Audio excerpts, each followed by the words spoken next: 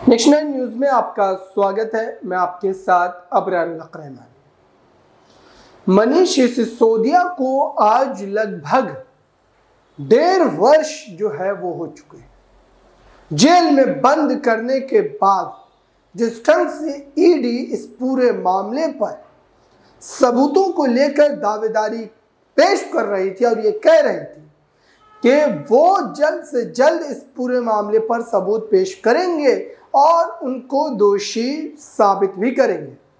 लेकिन ये होता हुआ नज़र नहीं आया दर्शकों, क्योंकि ईडी के पास सबूत ही नहीं है।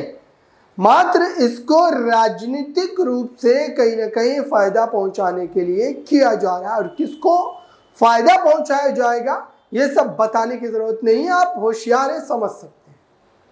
सबसे पहले तो मामला आप ये समझिए कि इस मुद्दे पर जितना वावेला मचाया गया भाजपा की तरफ़ से, और जितनी गिरफ्तारियाँ अब तक की जा चुकी हैं, उससे यही लगता है कि सरकार की मंशा, एजेंसियों की मंशा मात्र गिरफ्तारी करने की है, न कि इस पूरे मामले पर जवाबदेही तय करने की है।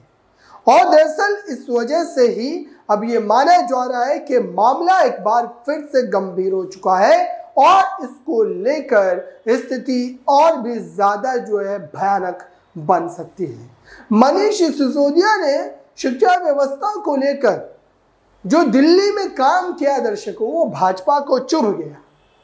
भाजपा ये समझ गई कि इससे तो जनता जो है उनकी तरफ़ चली जाएगी और कई चुनाव में देखा भी गया। इस तरीके की बातें आम आदमी पार्टी का हर एक कार्यकर्ता जो है आपको कहता हुआ मिल जाएगा।